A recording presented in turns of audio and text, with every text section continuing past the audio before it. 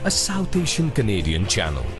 ਦੁਨੀਆ ਭਰ ਵਿੱਚ ਔਰਤਾਂ ਦੇ ਵੱਲੋਂ ਆਪਣੇ ਅਧਿਕਾਰਾਂ ਨੂੰ ਹਾਸਲ ਕਰਨ ਦੇ ਲਈ ਸੰਘਰਸ਼ ਕੀਤਾ ਜਾ ਰਿਹਾ ਹੈ। ਈਰਾਨ ਵਿੱਚ ਮੁਸਲਿਮ ਔਰਤਾਂ ਹਿਜਾਬ ਲਈ ਸੜਕਾਂ ਤੇ ਉਤਰ ਰਹੀਆਂ ਨੇ। ਇਸ ਵਿਚਾਲੇ ਦਿੱਲੀ ਦੀ ਇਤਿਹਾਸਿਕ ਜਾਮਾ ਮਸਜਿਦ ਨੇ ਹੈਰਾਨ ਕਰਨ ਵਾਲਾ ਫਰਮਾਨ ਜਾਰੀ ਕੀਤਾ ਹੈ।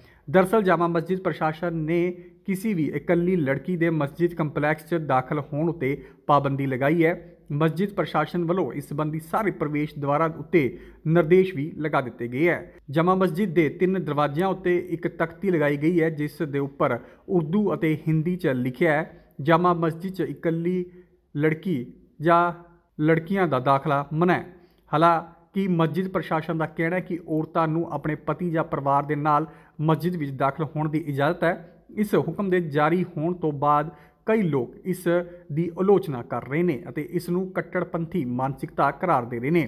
ਦਿੱਲੀ ਦੀ ਮਹਿਲਾ ਕਮਿਸ਼ਨ ਦੀ ਚੇਅਰਪਰਸਨ ਸਵਾਤੀ ਮਲੀਵਾਲ ਨੇ ਵੀ ਇਸ ਦੀ ਆਲੋਚਨਾ ਕੀਤੀ। ਉਹਨਾਂ ਕਿਹਾ, ਇਸ ਸੰਬੰਧੀ ਮਸਜਿਦ ਦੇ ਇਮਾਮ ਨੂੰ ਨੋਟਿਸ ਜਾਰੀ ਕੀਤਾ ਜਾਵੇਗਾ। ਉਹਨਾਂ ਨੇ ਟਵੀਟ ਕੀਤਾ, ਜਾਮਾ ਮਸਜਿਦ 'ਚ ਔਰਤ ਦੇ ਦਾਖਲੇ ਤੇ ਰੋਕ ਲਗਾਉਣ ਦਾ ਫੈਸਲਾ ਬਿਲਕੁਲ ਗਲਤ ਹੈ। ਜਿੰਨਾ ਮਰਦ ਨੂੰ ਪੂਜਾ ਕਰਨ ਦਾ ਹੱਕ ਉਨਾ ਹੀ ਔਰਤ ਨੂੰ ਵੀ ਹੈ। ਮੈਂ ਜਾਮਾ ਮਸਜਿਦ ਦੇ ਇਮਾਮ ਨੂੰ ਨੋਟਿਸ ਜਾਰੀ ਕਰ ਰਹੀ ਹਾਂ।